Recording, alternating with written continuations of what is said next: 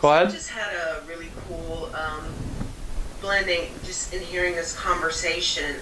I'm recognizing process is actually this almost like the secondary stage of this beingness of a creator. Like, I don't, there's something about settling into the acknowledgement that I am a creator, I am of the creator, I hmm. am the creator.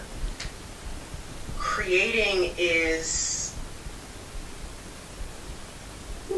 what we're calling process is the the the actual participation in the creation. There's there's something I'm finding very like alluring about that. It- it- Well, first, you start with a creation. First, you're aware that you are creation. And then you discover that you're also a creator.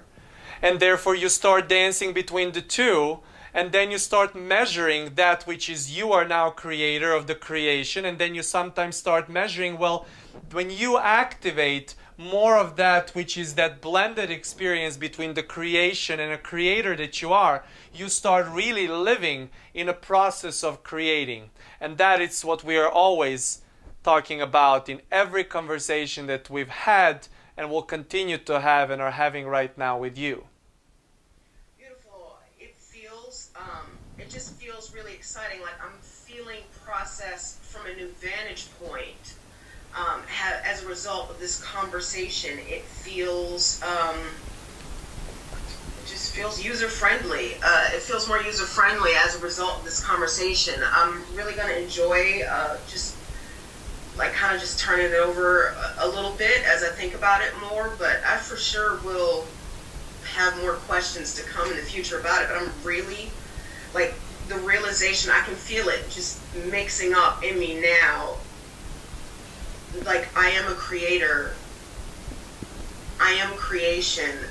I'm dancing in between applying will and preference and uh, the process the process of creating is happening at all times. It is not that you were only creation and now you're creator of that creation and now you're becoming the process as well of creating but that's been happening at all times you were just aware of the creation part first and then there was another pillar of you being aware that you're a creator first. Well, the third pillar of all of that is to see that everything in between, that process is really what you are. Always evolving, always moving, always dancing, and then choosing where and how long you stay. Sometimes you give more attention to the creation, sometimes you are more in the place of receiving that which is you, creator.